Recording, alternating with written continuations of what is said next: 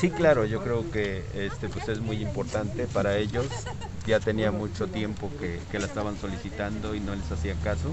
Entonces nosotros pues estuvimos, ahora sí, aunque sea ya casi al último, pero pues con todo el equipo de trabajo nos dispusimos a hacerla y yo creo que la gente está muy contenta por el trabajo. Presidente, ¿todavía le dará tiempo a entregar el mercado municipal? Sí, claro que sí. Tenemos la encomienda de que pues, lo tenemos que terminar. Es un reto, un gran reto, pero tenemos que terminarlo para que antes de, que entreguemos, pues eso ya esté funcionando.